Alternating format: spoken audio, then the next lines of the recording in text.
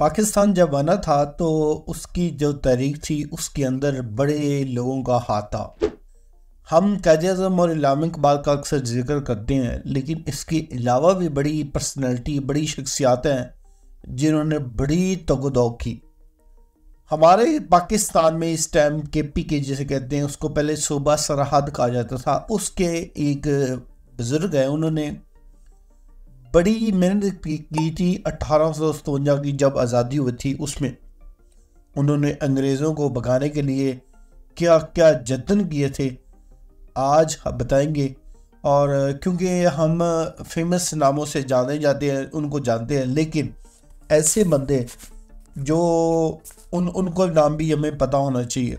उन्होंने क्या मेहनत की थी और उनको क्या मुश्किल आई थी। आज हम ज़िक्र करेंगे आजी साहब तरंगजी का बरस गिर की तरीक आज़ादी की इस अजीम मुजाहिद का नाम फजल वाजद और वालद साहब का नाम फजल अहमद था। बचपन में फजल वजद चूची पीर के नाम से मशहूर थे और तरीक में हाजी साहब तरंगजी के नाम से मशहूर हैं।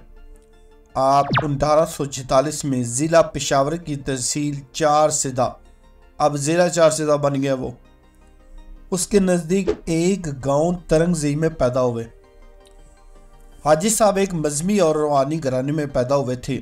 आपके जद आला सैयद भावुद्दीन मरूफ पीर बोदले बाबा अफ़गानिस्तान के मशहूर बुज़ुर्ग बाबा वली कंदारी के फर्जंद थे, जिनकी दादी पिशावर में तशरीफ़ आवरी का ज़माना बारह सौ के लगभग है। इस ज़माने से लेकर आज तक हज़रत हाजी साहब तरंगजी की ख़ानदान के अफराद इस इलाके में तबलीग दीन की अशात इस्लाम और इस्लाम माशरे में मसरूफ़ है। बचपन से ही तबीब तसवुफ़ की तरफ़ माल थी। तालीम से फरागत पाने के बाद इबादत व रियाजत में बहुत ज़्यादा मुंसलिक हो गए। शुरू शुरू में तरंगजही मस्जिद पिराने में ही चिल्ला कशी शुरू कर दी।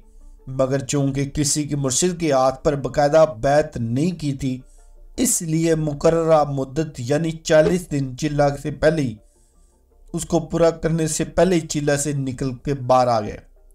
और हुडा नामी गाँव तरफ़ रवाना हो पड़े, जो अफ़गानिस्तान के मशहूर शहर जलालाबाद से जनूब की तरफ़ एक कबाली इलाके में वाक़ है। हुडा गाँव में सरहद की मशहूर वानी रहमा हज़रत नजवुद्दीन उर्फ़ हुडा मुला रहते थे, जो सवात के बुज़ुर्ग रहनमा हज़रत शेख अखवन अब्दुल गफूर कादरी के खलीफा थे। हाजी साहब तरंगजी उन्हीं आलम सूफी बतरीकत और मुजाहिद इस्लाम के हाथ पर बैत करने हुडा गए। हुडा साहब ने आपको न सिर्फ़ बैत से नवाजा, बल्कि खुरका खिलाफत में भी अदा किया। बकौल इजाजुलकदसी आपके नामवर खुलफा में, जिन्होंने अफ़गानिस्तान और पाकिस्तान दोनों मुल्कों को अपने अरशाद तलकिन का मरकज़ बनाया। इनमें मौलाना साहब तगाओ हज़रत साहब तजबाग, सूफ़ी आलमगुल शनवारी, मियाँ साहब मौजू सरकानडी मौलाना साहब मौजू कुल हनवार, बादशाह साहब इस्लामपुर और हाजी साहब तरंगजी काबिल ज़िक्र है। पंद्रह मुहर्रम बारह सौ तिरासी में दारूम देवबंद की बुनियाद पड़ी। तो हिंदुस्तान में जगह जगह इस इस्लामी दारूम की तखीर हुई। आजिज आपका सफ़र देवबंद बोझ इस इल्मी मरकज़ को देखना था और फिर यहाँ से उन्होंने अजमेर शरीफ जाना था। चनाचे जब आप देवबंद पहुँचे तो वहाँ सरहद के अफ़गानिस्तान के कई पश्तो बोलने वाले तुरबा से आपकी मुलाकात हुई। इस इलाकाई शनासाई की वजह से उन तलबा ने एक हफ़्ता तक आपको अपना मेहमान बनाए रखा और आपकी शख्सियत और इखलाक व इबादत से मुतासर हुए। और हाजी साहब के साथ नहायत इज़्ज़त से पेश आने लगे। हाजी साहब, को यह मालूम हुआ कि अन करीब हिंद का एक काफिला हज बैतुल्ला को रवाना होगा। तो हाजी साहब ने भी यह फैसला किया कि वो भी हिंद के इस काफिले के साथ हज बैतुल्ला का शरफ हासिल करेंगे। चनाचे आप बजाय अजमेर शरीफ जानेंगे। तुरंगजी वापस आए, यहाँ आकर जादराहे का इंतज़ाम करके दोबारा दरलूम देवबंद गए जहाँ से शवाल बारह सौ चौरानवे में बुजुर्गान हिंदुस्तान के काफिले के साथ हज के लिए रवाना हुए। इस वक्त आपकी उम्र बत्तीस साल थी। काफिले में सिद्धांत दीनदार मुसलमान चावल थे। काफिला सलार मौलाना रशीद अहमद गंगू और मौलाना मोहम्मद कासम नातवी थे। शेखुल हिंद मौलाना महमूद हसन ने दरीना तल्लुकात की वजह से हाजी साहब का तरफ़ तमाम फजला से भी कराया था। जब यह काफिला मौका मुआजमा पहुँचा तो वहाँ अहल काफिला ने हज़रत अजी इमदादुल्ला के दीदार पर अनवार की शहादत हासिल की और उनके हाथ पर बैद जहाद भी। जहाद के लिए हाजी साहब की हिजरत। हाजी साहब ने जब आँख खोली तो उस वक्त रात से सिखों के इकतदार का सतारा डूब रहा था और अंग्रेज़ों का सतारा तलू हो रहा था। सैयद शहीद के पीरोकारों को जो दीन इस्लाम की सरबुलंदी के लिए मसरूफ कार थे, चुन चुन कर या तो कत्ल किया जा रहा था या फिर उन्हें बगावत के इकदाम में मुलवस करके फांसी की सजाएँ दी जा रही थी। बच्चे कुच्चे, मुजाहिदीन जो दूर दराज के कबाली इलाकों में रहकर जहाद की शमा रोशन कर रहे थे, या वो अंग्रेज़ों के एजेंटों का निशाना बन रहे थे। कहीं तो उन पर कुफर के फतवे लगाए जा रहे थे और कहीं उन्हें गिरफ़्तार करके अंग्रेज़ों के हवाले करके उनकी खदमात सिने में अंग्रेज़ों से बारी इनामात, वजीफ़े और गिरे हासिल की जा रही थी। अंग्रेज़ी इंतज़ार के छा जाने के बाद सरहद के जबरी कवानीन के शिकंजे में जकड़ लिया गया। किसी की मजाल नहीं थी कि अंग्रेज़ी हुकाम की किसी फेल पर नुकता चीनी या फरियाद कर सके। अंग्रेज़ की तरफ़ से उंगली से इशारा करने पर भी सख्त तरीन सजा दी जाती थी। हाजी साहब की हिजरत के बाद 1916 में शिमला से सरकारी रिपोर्ट शाया हुई। हाजी तुरंग जई फजल वाजिद वल्द फाजल अहमद हाज खैल मेमन पीर ज़्यादा साकन उमर जई। मीरा में तुरंग जी के नज़दीक बहुत बड़ी ज़मीन लोगों ने उन्हें दी। उन्होंने वहाँ एक बड़ी मस्जिद तमीर करवाई। हॉस्टल भी तमीर करवाया। 1908 में जेल से रहा होते हुए हस्तंगर के 10 मुल्कों ने 500 रुपए फ़ी नफरी के हिसाब से उनकी जमानत दी थी। कि वो चार सिदा के इलाके से बाहर नहीं जाएँगे। ना ही वो बाग या ना तकरीरें करेंगे। जेल से रहा होते ही वो काबल गए। 1912 में उन्होंने बरतानवी स्कूलों का बाईकाट किया। उसकी बकायदा तरीक चलाई। मार्च 1915 में इसकी जमानत जब्त हो गई। हुकूमत आजी साहब को बार बार गिरफ़्तार करती थी और उन पर सख्त तशद करती थी। कि वो तबलीग इस्लाम और असलाह ना करें और अंग्रेज़ों की अदालतों के बाईकाट के तरीक को रोक दें या बंद कर दें। फरवरी 1907 में हुकूमत ने उन्हें बागियाना तकरीरें करने के इल्ज़ाम में गिरफ़्तार करके जेल में बंद कर दिया। ग्यारह माह की कैद के बाद हस्तनगर के दस खवानीन ने हाजी साहब की जमानत कराई जनवरी 1908 में उन्हें कैदी से रिहाई मिली। अंग्रेज़ों ने खवानीन से पाँच सौ रुपये फ़ी नफरी के हिसाब से जमानत ली थी। कि हाजी साहब ना तो चार सदा से बाहर जाएँगे और ना ही हुकूमत के खिलाफ तकरीरें करेंगे और ना ही कोई ऐसा इकदाम करेंगे। जमानत पर रहा होने के बाद हाजी साहब ने अपने जामनों से कहा कि चूँकि काबल में आज़ादी की जद्दोजहद की कार्रवाई के सिलसिले में एक इजलास हो रहा है, जिसमें हिंदुस्तान के कई जुमा हिस्सा ले रहे हैं इस इजलास में अंग्रेज़ों के ख़िलाफ़ कोई मुनासिब लाया अमल मुरतब किया जाएगा कि किस तरह हम अंग्रेज़ों से आज़ादी हासिल कर सकते हैं। इसलिए अगर आप पाँच पाँच सौ रुपये बतौर ज़मानत ज़बर कराने के लिए बखुशी तैयार हैं तो मुझे इजाज़त दें कि मैं बेस बदल कर काबल के इजलास में शिरकत करूँ। जामनों ने उन्हें कहा कि हम इस नेक काम के लिए पाँच सौ नहीं कई हज़ार की कुर्बानियाँ देने के लिए तैयार हैं। आप बखुशी काबल के इजलास में शिरकत करें। चनाचे हाजी साहब बेस बदल कर काबल के इजलास में शरीक हुए। बाद में जब हुकूमत को हाजी साहब के काबल जाने का पता चला तो मुकदमा चलाकर जामनों की जमानतें जब्त कर लीं। इस्लाम मुआरा तबलीग इस्लाम और इस्लामी मदरसों की तरीक सिलसिला में हाजी साहब ने अपनी ज़िंदगी वक्फ कर दी। वो अपने मिशन में दिन रात मसरूफ रहते थे। कदम कदम पर उन्हें मुश्किल का सामना करना पड़ा। कई बार अंग्रेज़ी हुकाम ने उन्हें गिरफ़्तार किया, मगर वो मुसलसल अपने मकसद की तकमील के लिए मसरूफ़ अमल रहे। अंग्रेज़ हुकाम ने आपकी नकलो हरकत पर कड़ी नज़र रखी थी। आवाम को अंग्रेज़ी अदालतों का बाइकाट करने की तरगीब देने की वजह से अंग्रेज़ हुकाम आपको ताज बरतानिया का सख्त तरीन दुश्मन समझते थे। 1914 में जब जंग अजीम अव्वल शुरू हुई और इतिहादियों ने तुर्की की इस्लामी सल्तनत को मिटाने के लिए तुर्कों के खिलाफ ऐलान जंग किया तो बरसगीर के मुसलमानों ने इतिहादियों की इस हरकत को इस्लाम दुश्मनी करार देकर अंग्रेज़ हुक्मरानों को खबरदार किया। कि अगर तुर्कों पर कोई जुल्म किया गया तो बरसगीर के मुसलमान अपने तुर्क भाइयों के दोष बदोश इस्लामी सल्तनत की बचाने के लिए हर मुमकिन इकदाम करेंगे। हाजी साहब को शेख उल हिंद महमूद हसन की तरफ़ से पैगाम पहुँच चुका था कि वो फौरी तौर पर कबायली इलाके जाकर अंग्रेज़ों के खिलाफ जहाद का आगाज़ कर दें। ताकि अंग्रेज़ों की फौजी ताकत मुंतशिर हो जाए, ताकि वो तुर्कों के खिलाफ अपनी पूरी फौजी ताकत खर्च ना कर सके। हाजी साहब ने हुक्म पाते ही तैयारी में मसरूफ़ हो गए, सिर्फ़ अपनी बीवी के चलम के इंतज़ार में थे, ताकि चिलम के मौका पर जब उनके मुतमिन हाजी आबाद में जमा हो जाए तो वो उन्हें अपने प्रोग्राम से मुतला कर सके। चनाचे 12 जून 1915 को साहब पेशावर आए।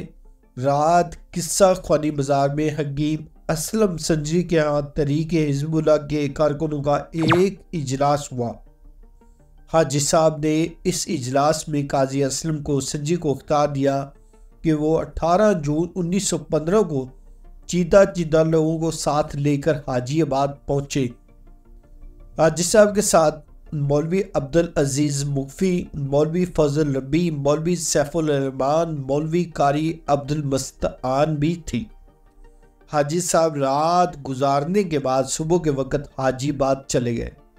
बरसगीर में मुसलमान लीडरों की गिरफ्तारियों का सिलसिला शुरू हो चुका था। हाजी साहब की भी गिरफ्तारी के वारंट जारी कर दिए गए। ये वारंट 15 जून 1915 को जारी किए गए। गिरफ्तारी से कबल सर साहबजादा अब्दुल कयूम खान ने एक मेमंद के ज़रिए हाजी साहब को वारंट गिरफ्तारी की इतला दी। हाजी साहब ने रवानगी से कबल अपने मशाइ और मुतदीन को और वहाँ मौजूद अकीदत मंदों को राय खुदा में साबित कदम रहने की तलकिन की और इशा के बाद सबसे हाथ मिलाकर घर के अंदर जाने से पहले मुरीद से कहा कि यहाँ हुकूमत के आदमी सफ़ेद कपड़ों में आए हुए हैं। उन्हें खूब खाना खिलाओ ताकि वो सो जाए। ये कहकर आप घर के अंदर चले गए। ये घर हाजी साहब की मस्जिद के साथ ही मुल्क था। इस घर के साथ एक हुजरा था जिसमें आप चिल्ला किया करते थे। 1908 में तरंगजी इस मकान में मुंतकिल हो गए थे। ये घर हाजी आबाद की मस्जिद से चालीस गज के फासले पर था।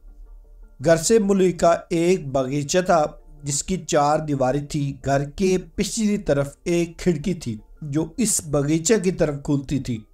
इस बगीचा के बाहर नौ घोड़े शाम से तैयार करे थे। ईशा की नमाज़ के तकरीबन तीन घंटे बाद हाजी साहब ने कारी अब्दुल अब्दुलस्तान को बगीचा में बुलाकर कहा कि मैं फजल अकबर और फजल शाह को अपने साथ लेके जा रहा हूँ। छोटे बेटे फजल महमूद और बच्चियों को पिछले पहर लेकर सड़क पर पहुँची।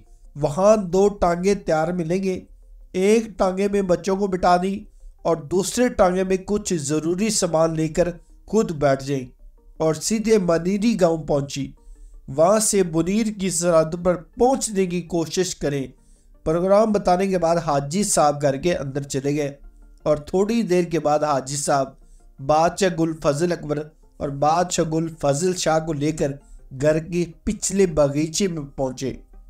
मौलवी सैफरमान मौलवी अब्दुल अज़ीज़, साकन इतमान जई मौलवी फजल रब्बी, दो बरीद सईदुल्ला और सजीद गुल और चंद दूसरे मशाइख जिनकी कुल तदार बारह थी, नौ गुड़ों पर सवार होकर रात की तारीखी में आस्ता आस्ता गाँव के खेतों की तरफ़ रवानगी थी।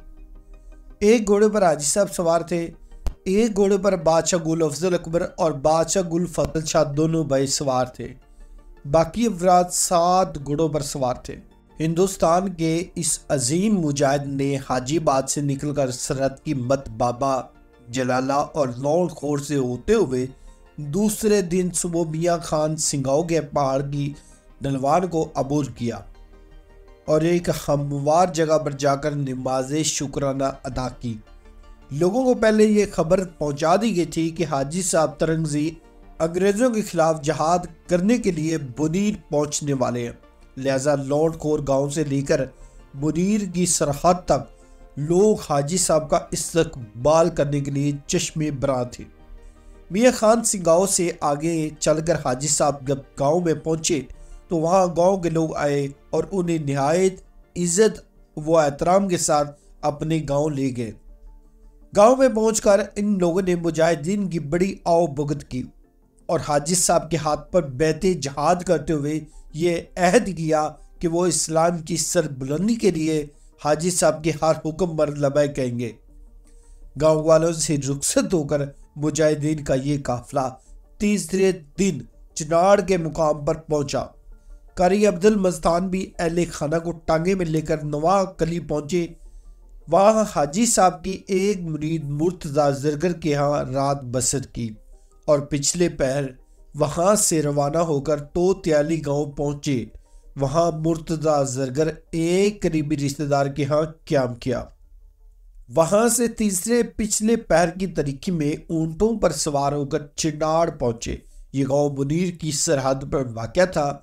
और हाजिर साहब माए अपने रुफका के वहाँ पहले ही पहुँच चुके थे।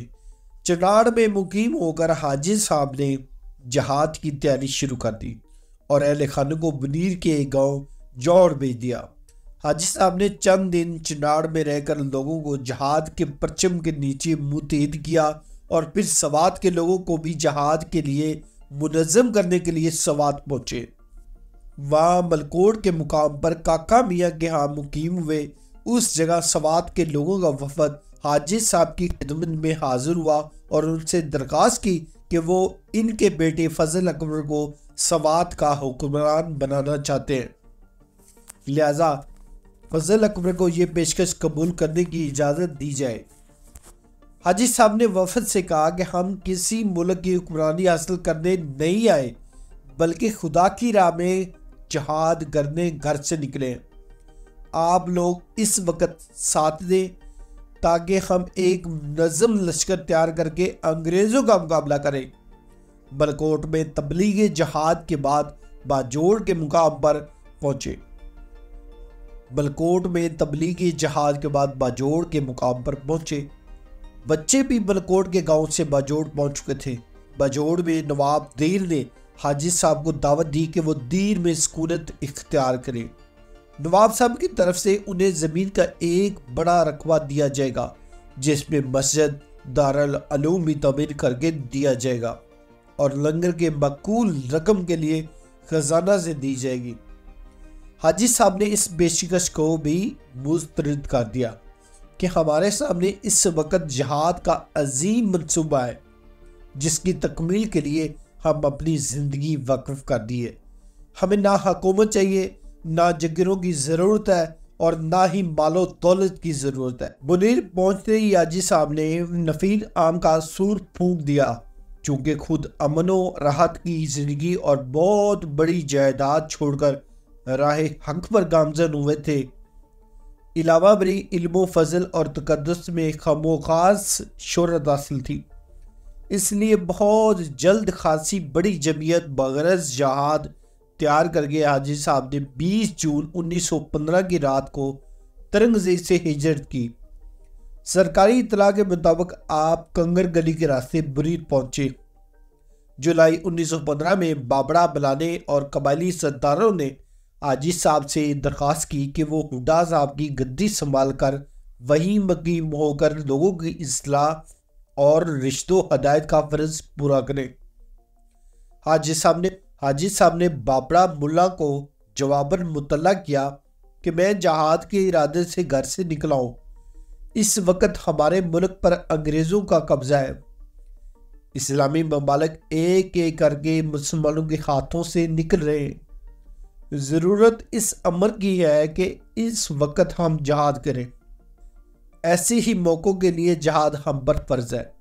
लिहाजा हमने पचास राइफलें खरीद ली हैं और मज़ीद हथियारों की फ्रेमी का इंतज़ाम कर रहा हूँ। मुजाहिदीन मेरे साथ हैं, सिर्फ़ असला का इंतज़ार है। जूनी असला फ्रेम हुआ, हम अपने मुल्क को अंग्रेज़ों से निजात दिलाने के लिए मैदान जहाद में कूद पड़ेंगे। लिहाजा उस वक़्त अपने मुर्शद की गद्दी संभालने से ज़्यादा बेहतर समझता हूँ कि मेरे मुर्शद रहमान ने अपनी सारी ज़िंदगी, अपने वतन की आज़ादी के लिए जहाद किया। मैं अपने मुर्शद के नक्शे कदम पर चलते हुए जहाद का आगाज़ करूँ और अंग्रेज़ों को इस मुल्क से निकालने में अबलन जद्दोजहद करूँ। मैं जहाद का आगाज़ करने से पहले चमरकंड में अपने मुर्शद की कब्र पर ज़रूर हाजिर दूँगा। हाजी साहब का ये ख़त पहुँचने के बाद बाबड़ा मुल्ला और कबाली जुमा ने एक जिरगा किया, जिसमें यह फैसला किया गया कि ईद के बाद उल्मा और मिशाई का एक वफद मुदीर में हाजी साहब के पास भेजा जाएगा, ताकि हाजी साहब को चमरकांड में लाया जाए। जून 1915 में लाहौर के 40 दुलबा दरबंद के रास्ते चमरकंड पहुँचे और उन्होंने मुजाहिदीन चमरकंड की अमीर निमतुल्ला से कहा कि हम पंजाब से जहाद के लिए आए हैं और हमारे मजीद 400 तालब इलम बहुत जल्द यहाँ पहुँचने वाले हैं। यह तलबा हाजी साहब की हिजरत से सिर्फ़ तीन दिन पहले चमरकंड पहुँचे थे।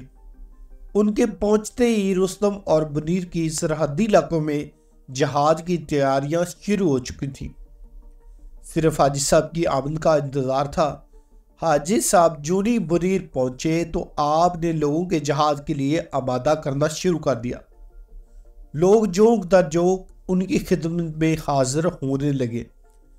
हाजी साहब ने लोगों को जहाज़ के रास्ते में जानी और माली जहाद करने के लिए तबलीग शुरू कर दी। आपकी तबलीग का यह असर हुआ कि चंद ही दिनों में लोगों ने आपके हाथ पर जहाद के लिए बैत करना शुरू कर दी। तेईस अप्रैल 1930 को पिशावर के मशहूर बाज़ार किस्सा खानी में अंग्रेज़ों ने नहते शहरों पर मशीन गनों और बंदूकों से अंधाधन फायरिंग करके इस बाज़ार को आज़ादी के मतवालों के खून से रंगीन किया। इस खूनी ड्रामे के बाद पिशावर की फौजी हवाले कर दिया गया। पूरा शहर दो दिन तक पुलिस और फौज के मुआसरे में रहा। हर घर के दरवाजे पर मुसल्ला फौज संगीन ताने खड़ा था। दो दिन तक बच्चे घरों में चीखते चिल्लाते रहे, प्यासे पानी को तरसते रहे, मगर किसी भी शख्स को घर से निकलकर ना तो बाज़ार से सौदा सर्फ लाने की इजाज़त दी, ना किसी बीमार को घर से निकलने दिया जाता, और ना ही किसी मुर्दे को दफन करने के लिए इसका जनाजा पढ़ने की इजाज़त थी। शहर पर एक सन्नाटे का आलम तारी था। बेरहमाना फायरिंग से लोग शहीद हुए थे। उन्हें फौज ट्रकों में भर भर कर नामलूम कहाँ ले गई। बास कहते हैं उन्हें अटक दरिया में फेंका गया। बास कहते हैं कि तूत के एक दरवाजे के बाहर खेतों में बड़े गड़े खोद कर उनमें लाशों को डालकर ऊपर से ज़मीन को हमवार किया गया। बहरहाल, सरकारी रिपोर्ट से भी कहीं मालूम नहीं होता कि इन लाशों के साथ क्या क्या सलूक किया गया। उन्हीं लाशों को ठिकाने लगाने के दो दिन तक शहर के बाजारों में, शहर के गली कुचों में जगह जगह हर एक घर के दरवाजे पर मुसल्ला फौजी खड़े थे। जब लाशों को ठिकाने लगाया, लिया गया तो फिर 24 अप्रैल की रात को शहर से फौजों को हटा दिया गया। पुलिस को भी हटा दिया गया। ये भी एक मुनज़म मनसूबा था, ताकि शहर में लूट मार शुरू करा दी जाए। सरहद खिलाफत के सूबाई कमेटी ने जब ये हालत देखी और उसे कहीं से इस मुकम्मल मनसूबा की तफसीलात मिली तो रातों रात ही शहर का कंट्रोल खिलाफत के रजाकारों ने अपने हाथों में ले लिया। ट्रैफ़िक का इंतज़ाम गली कुचों की हिफाजत, मकानात और दुकानों की हिफाजत के लिए रजाकार जगह जगह खड़े कर दिए गए। सरकारी हुकाम ने साफ़ ऐलान कर दिया कि पुलिस शहर की हिफाजत करने से कासर है। हाजी साहब का पैगाम पहुँचते ही तमाम कबालियों ने जिरके मुनद किए और फैसला किया कि वो अंग्रेज़ों को इस मुल्क से निकालने के लिए हाजी साहब के हर हुक्म पर लबैक कहते हुए इस जहाद में शिरकत करके अपना इस्लामी और कौमी फरीज़ा अदा करेंगे। चनाचे इंतज़ामी अजला के साथ साथ सरहदों पर मुजाहिदीन ने मोर्चा बंदी शुरू कर दी। इन मुजाहिदीन के लिए खाने वगैरह का इंतज़ाम अजला के सरहदी देहातियों ने अपने ज़िम्मे ले लिया। चनाचे कुतुजी और मिट्टा और दुआपा, रुस्तम, मथेरा वगैरह के देहाती मुजाहिदों के लिए दिन भर खाना पकाते। और रातों को खुफिया रास्तों के ज़रिए अंग्रेज़ी फौजियों और पुलिस से बचते बचाते मुजाहिदीन तक पहुंचाते। कई देहातियों पर खाना ले जाते हुए फौजियों और पुलिस वालों ने गिरफ़्तार करके उन पर मुकदमा चलाए और उन्हें कड़ी से कड़ी सजाएँ दी गई। हाजी साहब का पैगाम, जहाद पहुँचते ही अफरीदी कबाल का एक अजीम जिरगा खानगी और बाग मुकाम पर मुनद हुआ। आजी साहब का पैगाम जहाद पहुँचते ही आफरीदी कबाइल का एक अजीम जिरगा खानकी और बाग के मुकाम पर मुनद हुआ, जिस पर मुनफिका तौर पर अंग्रेज़ों के खिलाफ मुनज़म जदोजहद का फैसला किया गया। इस तरह कोर्ट तोलियाली और जाई इकबाल ने भी अपने अपने जिरगों में यही फैसला किया कि वो किस्सा खानी बाज़ार में किए गए अंग्रेज़ी मुजालम का हर हाल में इंतकाम लेंगे। पिशावर मर्दान, चारसदा, सवाबी, रुस्तम, दशहरा और दुआबा के लोगों को जब मालूम हुआ कि हाजी साहब तुरंग कबाली मुजाहिदीन की क्यादत करते हुए अंग्रेज़ी मुकाबले के लिए गद्दाब पहुँच चुके हैं तो उन इलाकों के लोगों में अजीब जोशो खरोश पैदा हो गया। हुकूमत ने जब देखा कि हाजी साहब तरंगजे के लश्कर ने सरहदों पर मोर्चा बंदी शुरू कर दी है और वो मुकामी अजला पर हमला आवर होने वाले हैं तो हफाजती तदाबीर के तहत मुजाहिदीन पर बमबारी करके उन्हें तितर बितर करने और पीछे हटाने और मुकामी अजला में तमाम सियासी सरकदा लीडरों और अफराद को गिरफ़्तार करने का प्रोग्राम बनाया गया। मुजाहिदीन के खतरे के पेश नज़र 4 मई 1930 को पिशावर शहर फौज के हवाले कर दिया गया, जबकि मुजाहिदीन में बहुत जोशो खरोश था कि मुल्क की हिफाजत के लिए जान की कुर्बानी भी देना पड़े तो दरेग ना किया जाएगा। मौलाना खाली कहते हैं कि उन्नीस सौ तेरह में हाजी साहब ने तुरंगजी में एक मस्जिद की बुनियाद रखी तो उस तकरीब में मैं भी मौजूद था। हाजी साहब ने इसलाह काम के शुरू करके पख्तून कौम के जेन और फ़िक्र में तब्दीली पैदा की। गंदाब का दरलूम जियारत का, काका साहब का मदरसा नुसरतुल इस्लाम और इतमान जी का मदरसा मरकज़ी हसीियत रखते थे।